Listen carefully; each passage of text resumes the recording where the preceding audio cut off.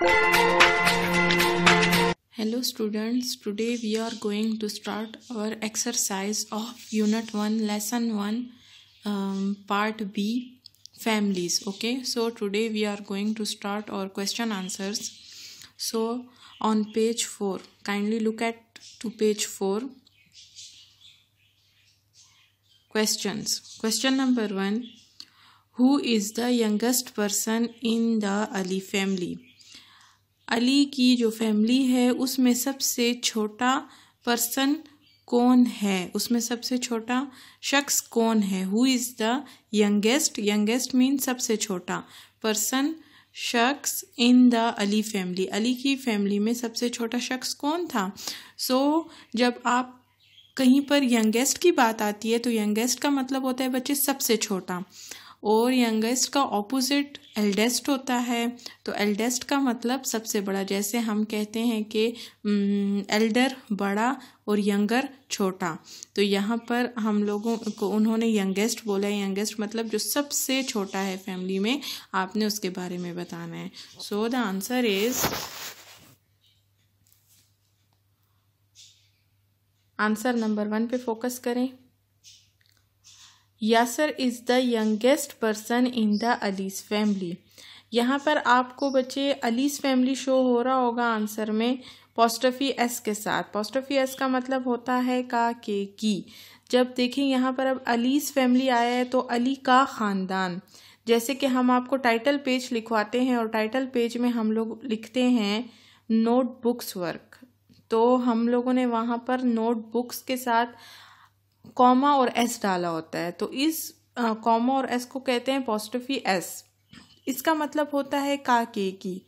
तो अब अलीस फैमिली है तो इसका मतलब अली का ख़ानदान, ठीक है? इसी तरह हम लोग जैसे आपको लिखवाते हैं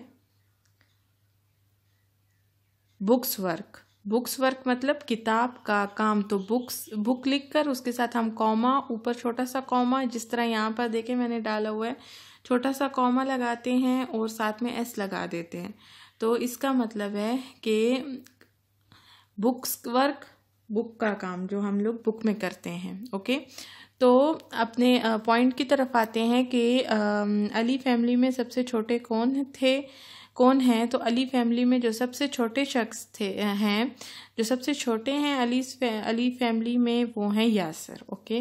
तो यासर कौन है? जी, यासर अनम के भाई थे। जैसे कि मैं कल आपको बताया भी है। ये देखें।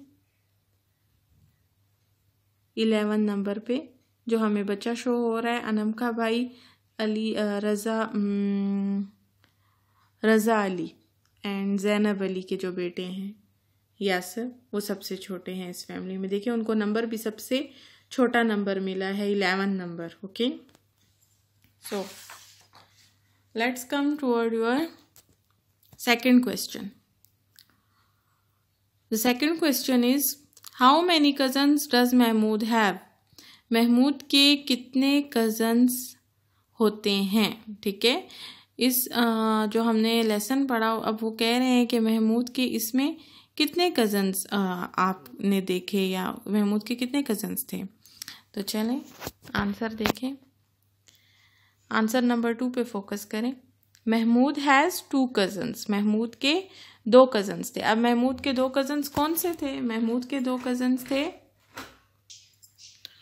अनम और यासर। ये देखें, अनम और यासर जो हैं, वो महमूद और अहमद के कज़न्स थे। मैंने आपको कल बताया भी था तो इस तरह महमूद के कितने कज़न्स हैं? Mahmood has two cousins Anam and Yasir okay तो हमने जस्ट आंसर में लिखा है, महमूद हैज़ टू कजन्स लेकिन आपको पता होने चाहिए उनके names Anam and Yasir are Mahmood cousin okay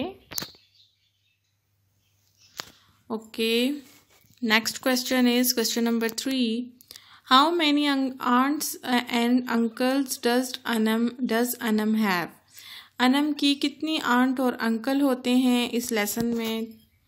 तो क्वेश्चन नंबर थ्री को देखें Anam has only one aunt and one uncle Anam का, के एक अंकल और एक आंटी होते हैं। उनके एक अंकल एंड वन आंट होते हैं। उनके देखें यहाँ पर मैंने आपको बताया भी था ना कि उनकी जो पुप्पो होती हैं तहमीना उनका नाम होता है और उनके हस्बैंड का नाम इमरान है तो यहाँ पर तहमीना जो है वो उनकी आंट हो गई, अनम और यासर की और इमरान उनके अंकल हो गए। तो इनके एक अंकल और एक आंट्स हैं, okay? So Anam has only one aunt and one uncle okay the next question is what are their names अब वो कह रहे हैं कि उनके पहले तो आपने बतानी है तादाद के, कितने अंकल्स कितने आंट्स थे तो हमने कहा कि Anam has one uncle and one aunt so now they are asking about their names so what are their names मैं आपको अभी बता चुकी हूँ कि इनके क्या नाम थे? तहमीना उनकी आंट थी और इमरान उनके अंकल थे okay so we have completed our questions now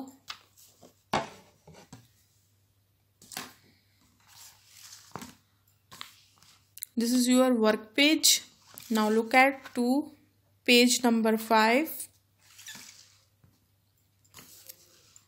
now I am giving you the homework of exercise A exercise A बच्चे आपका होमवर्क होगा तो आप इस एक्सरसाइज ए को अच्छे से समझ लें ताकि फिर आपसे इसमें मिस्टेक ना हो। So the question is here are the fingerprints of my right hand आपने क्या करना है कि आपको यहाँ पर one two three four five देखें। One two three four five आपको यहाँ फाइव बॉक्सेस नज़र आ रहे हैं। आपने क्या करना है कि इन फाइव बॉक्सेस में आपने बॉक्स नंबर वन जो है, यहाँ आपने थम से अपना फिंगरप्रिंट बनाना है थम का। देन आपने फ़र्स्ट फिंगर का थम फ़र्स्ट फिंगर का यहाँ पर uh, लगाना है uh, जो फिंगरप्रिंट उन्होंने मांगा है तो आपने यहाँ फ़र्स्ट फिंगर का लगाना है यहाँ सेकंड फिंगर का लगाना है यहाँ थर्ड फिंगर का और यहाँ आपकी लिटल फिंगर अब मैं आपको बताती हूँ कि आपका थम कौन सा होता है। ये है आपका थम। ये देखें अंगूठा। ये थम है। आपने यहाँ पर लगाना है यूँ, थम। आपने क्या करना है? या तो आपने स्टेम पैड ले लेना है, या फिर आपने ले लेना है पेंट।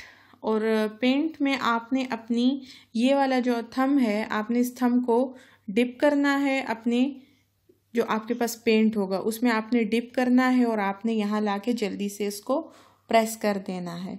प्रेस करने के बाद आप जब अपनी, अपना थम हटाएँगे तो यहाँ पर एक थम का निशान आ चुका होगा, जो कि आपने प्रेस किया होगा, जस्ट लाइक दिस।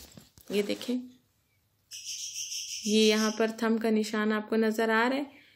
अब उसके बाद इन्होंने कहा है कि फ़र्स्ट फिंगर तो देखें। थम के बाद ये आपकी फ़र्स्ट फिंगर है। थम यहाँ पर लग गया। उसके बाद आपने यहाँ पर उसी मेथड को फॉलो करके जो मैंने आपको अभी बताया है कि पेंट आपने ले लेना है। पेंट में आपने अपनी जो जो फिंगर आपसे यहाँ पर मांगी जाएँगी, आपने वन बाय वन अपनी सारी फिंगर्स के यहाँ फिंगरप्रिंट लगाने हैं। थम, देन फ़र्स्ट फिंगर, उसके बाद देखें, ये पूरा हाथ है मेरा। ये जो है, थम है, ये फ़र्स्ट फिंगर है, ये सेकंड फिंगर है, ये थर्ड फिंगर है और ये फोर्थ, ये लिटल फिंगर है, ओके? ये आपकी देखें, लिटल फिंगर है, ये आपका थम है, ये फ़र्स्ट है, ये सेकंड है और ये थर्ड है। तो ये आपका जितनी फिंगर्स हैं, उन सब के आपने यहाँ पर लगाने हैं प्रिंट्स, ओके? सो so, इसलिए यहाँ पर आपको कहा जा रहा है फिंगर प्रिंट्स फिंगर उंगली को बोलते हैं और प्रिंट्स आप यहाँ पर जो अभी देखें निशानात लगाएँगे वो प्रिंट्स हो जाएँगे ओके तो सबसे पहले जो आपको एक्सरसाइज ए में फ़र्स्ट वाले बॉक्सेस फाइव नज़र आ रहे हैं यहाँ आपने अपना राइट हैंड के फिंगरप्रिंट्स लगाने हैं। आपका जो दायां हाथ होगा ये देखें वो हाथ जिससे हम लोग खाना खाते हैं वो आपका राइट हैंड होता है दायां हाथ। उसके बाद जो आपको यहाँ पर दूसरा पार्ट शो हो रहा है तो उसमें आपने लेफ़्ट हाथ के जो हैं वो फिंगरप्रिंट्स लगाने हैं। सबसे पहले इधर आपका आएगा उसी तरह थम ये वाला।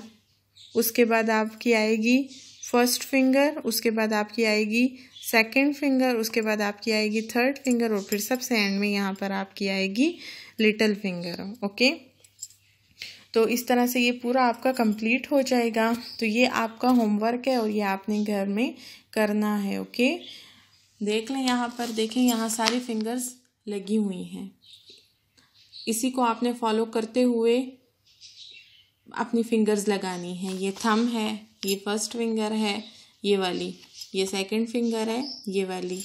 उसके बाद देखें ये थर्ड फिंगर है और ये सबसे एंड में लिटिल फिंगर आएगी ओके सो आई होप आपको अच्छे से समझ आ गया होगा ये वाला क्वेश्चन उसके बाद आपने देखें exercise B exercise B is also very easy and it is all about your family and it is all about your personal information related to your family so this is also your homework so मैं आपको समझा देती हूँ आपने ये करना किस तरह से है।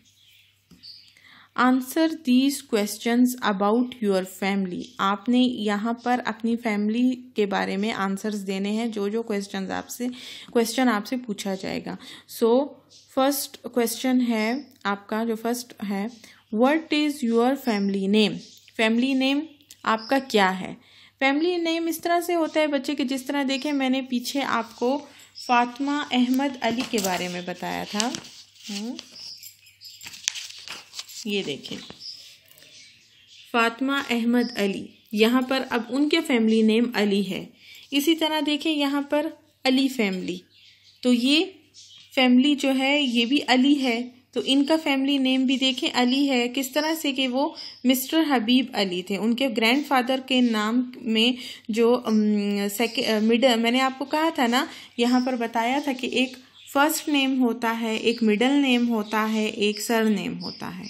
तो जो सर नेम होगा आपका, वो आपने इधर फैमिली नेम में अपना लिखना है, या फिर जो आपका फैमिली नेम है, आपने वो लिखना है। अब देखिए, यहाँ पर हबीब अली। हबीब अली, ये इनका फ़र्स्ट नेम था और ये इनका सर नेम था। तो ये जो सर नेम था, ये इनका क्या हुआ? फैमिली नेम हो गया। तो इसलिए उन्होंने कहा कि अली फैमिली का ये फैमिली ट्री है। तो इसीलिए क्योंकि ये जो अली है, ये इनका सर नेम है और ये इनका फैमिली नेम है, ओके? तो यहाँ आपने बच्चे लिखना है अपने फैमिली का नेम कि what is your family name what is your mother's name यहाँ पर आपने अपनी मम्मा का नाम लिखना है कि आपकी मम्मा का क्या नेम है, ओके? उसके बाद वो आपसे पूछ रहे हैं how many cousins do you have आपके कितने कजन्स हैं?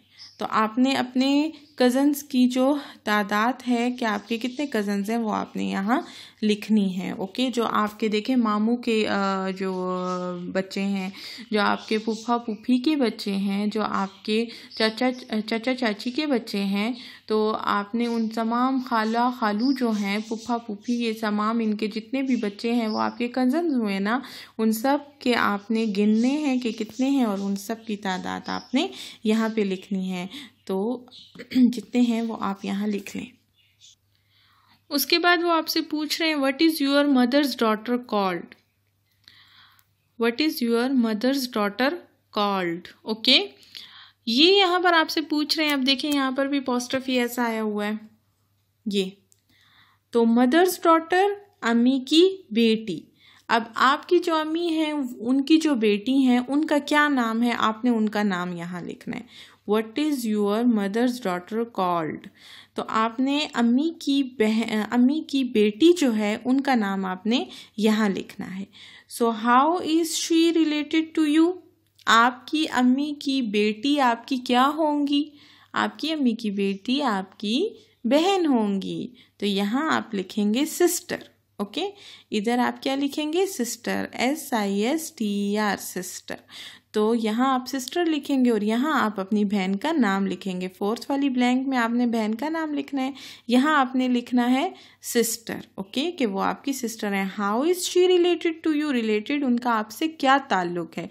रिलेटेड का मतलब ताल्लुक, कि वो आपसे कैसे ताल्लुक़ रखती है? उनका आपसे क्या रिश्ता है ओके तो यहाँ आप लिखेंगे सिस्टर यहाँ उनका नाम लिखेंगे, यहाँ अपनी कज़न्स की तादाद लिखेंगे कि how many cousins do you have आपके कितने कज़न्स हैं? यहाँ आपने अपनी मम्मा का नाम लिखना है मदर्स नेम अम्मी का नाम। देखें, यहाँ पर भी पॉजिटिव ऐसा आया हुआ है, का के की को शो कर रहा है। आपकी अम्मी का नाम, अम्मी की बेटी, सही है?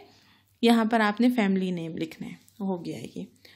उसके बाद आपके पास है एक्सरसाइज सी उसमें ये भी आपका होमवर्क है और ये आप अब समझ लें कि इसमें आपने क्या करना है। Ask one of your friends the following question and complete the form below आपने क्या करना है? अपने किसी दोस्त से ये सारे क्वेश्चंस पूछने हैं और आपने ये फॉर्म कंप्लीट करना है। जो क्वेश्चंस आपको नीचे दिए गए हैं, वो आपने अपने फ्रेंड से पूछने हैं और आपने इसको कंप्लीट करना है। So question number one is what is your family what is your name यहाँ आपने अपनी दोस्त का नाम लिखना है। व्हाट इज़ योर नेम आपने अपने दोस्त से पूछना है। दीज आर सिक्स क्वेश्चंस ये क्वेश्चंस आपने अपने दोस्त से पूछने हैं okay what is your name आपने अपने फ्रेंड को पूछना से पूछना है कि आपका क्या नाम है। तो वो आपको अपना नाम बताएगा, आपने यहाँ अपने फ्रेंड का नाम लिखना है। उसके बाद है what is your father's name देखें बाप का नाम, यहाँ पर देखें, वहाँ पर था ना मदर्स नेम माँ का नाम ओके यहाँ पर मदर्स नेम था, माँ का नाम। यहाँ पर देखें अब फादर्स नेम है बाप का नाम। यहाँ पर आपके फ्रेंड के जो बाप अबू हैं उनका नाम यहाँ आएगा उनके फादर का नाम। So what is your father's name आपने अपने दोस्त से जब ये सवाल पूछेंगे जब वो आपको बताएँगे कि उनके फादर का क्या नाम है सो so, आपने उनका नाम यहाँ लिखना है। How many sisters do you have फिर आपने अपने दोस्त से पूछना है कि आपकी कितनी बहनें हैं। फिर आपने उनकी तादाद को इधर लिखना होगा। How many brothers do you have फिर आपने पूछना है अपने दोस्त से कि आपके कितने भाई हैं? आपने फिर उनको, उनकी तादाद इधर लिखनी है। How many members are there in your family आपकी फैमिली में कितने मेंबर्स हैं? मेंबर्स मतलब अफराद ओके okay? मेंबर्स का मतलब अफराद कि आपके ख़ानदान में कितने अफराद हैं? आपने उनकी तादाद इधर लिखनी है। फिर यहाँ पर पूछा गया how many people live in your house आपके घर में कितने लोग रहते हैं? तो उनकी तादाद आपने यहाँ लिखनी है। तो ये आपकी एक्सरसाइज ए एक्सरसाइज बी और एक्सरसाइज सी ये आपकी सारी होमवर्क में है। ये पूरा वर्क पेज आपका होमवर्क में है because there are some personal information that they are asking about your family and then question C जो एक्सरसाइज सी है, आपने फिर अपने फ्रेंड से उसके बारे में जो पर्सनल इन्फॉर्मेशन है, वो पूछनी है और इन ब्लैंक्स को फिल करना है ओके जी तो आज का हमारा जो है, वो काम कंप्लीट हो गया है। आपने पेज नंबर फाइव होमवर्क में मैंने आपको दिया है और आपने ये तीनों क्वेश्चंस ये exercise exercise A exercise B और एक्सरसाइज सी अपनी अपनी बुक्स में इस पेज को फिल करना है ओके सो कल मिलते हैं और अपना नया लेसन स्टार्ट करेंगे ओके लेसन टू ओके अल्लाह हाफिज़ माय डियर स्टूडेंट्स